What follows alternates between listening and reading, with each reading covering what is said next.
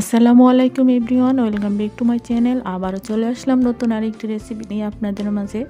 আজকে আমি আপনাদের সাথে শেয়ার করব খুবই মজাদার এবং সহজভাবে স্বাস্থ্যকর একটা রেসিপি নিয়ে।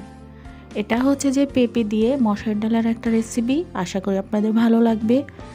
যাদের কোষ্ঠকাঠিন্য বা গ্যাস্ট্রিক আলসার সকলে এই রেসিপিটা হচ্ছে যে খেতে পারেন তৈরি করে বাসায়, খুবই উপকারে আসবে। আর এই রেসিপিটা হচ্ছে যে ছোট বড় সকলেরই খুব ভালো লাগবে, খেতেও ভালো লাগে। যেসব বাচ্চারা সবজি পছন্দ করেন না সেই সব বাচ্চাদের জন্য এই রেসিপিটা খুবই ভালো, পেঁপে দিয়ে মশার ডাল। খুবই স্বাস্থ্যকর একটা রেসিপি আজকে আমি আপনাদের সাথে শেয়ার করব। তো চলুন শুরু করা যাক কীভাবে আমি পেঁপে দিয়ে ডালের এই রেসিপিটা করব। এখানে আমি নিয়ে নিব হচ্ছে যে এক কাপের মতো মশাইয়ের ডাল। আর আর হচ্ছে যে নিব একটা পেঁপে মিডিয়াম সাইজের একটা পেঁপে, আমি হচ্ছে যে একদম বেশি পাতলও না, একদম বেশি ভারীও না, এভাবে কেটে নিয়েছি, এই যে দেখতে পাচ্ছেন, এই যে এভাবে, ঠিক এভাবে কেটে নিয়েছি, বেশি পাতলও না, একদম ভারীও না, আর এটা হচ্ছে যে আমার দেশি মশার ডাল।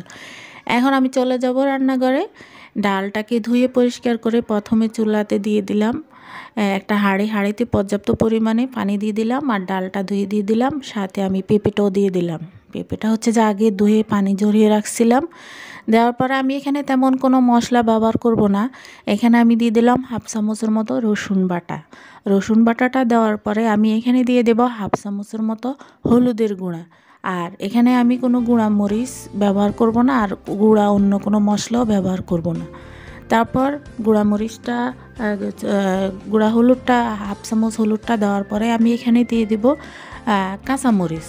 কাঁচামরিচটা হচ্ছে যে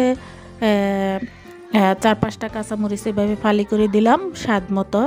আর দিয়ে দিব স্বাদ মতো লবণ।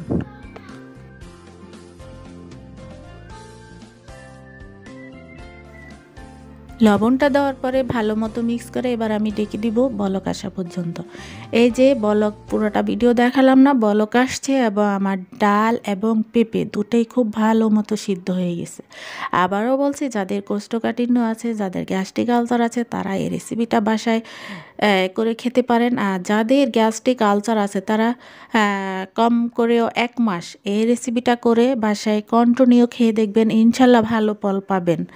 আর এখন আমি পেঁপে ডালটা হচ্ছে যে বাগার দেব। ভালো মতো সিদ্ধ হয়ে গেছে, এবার পাইপেন বসিয়ে দিলাম আর এতে দিয়ে দিলাম তিন টেবিল চামচের মতো সাদা তেল।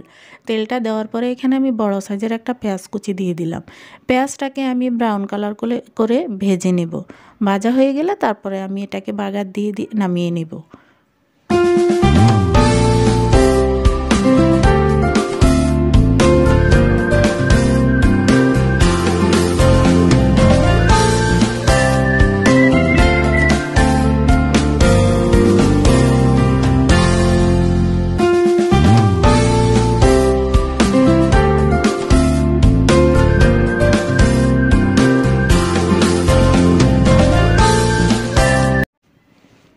এই যে পেঁয়াজটা আমার ব্রাউন কালার করে ভাজা হয়ে গেছে, এবার আমি এর মধ্যে পেঁপে আর ডালের মধ্যে দিয়ে দিলাম।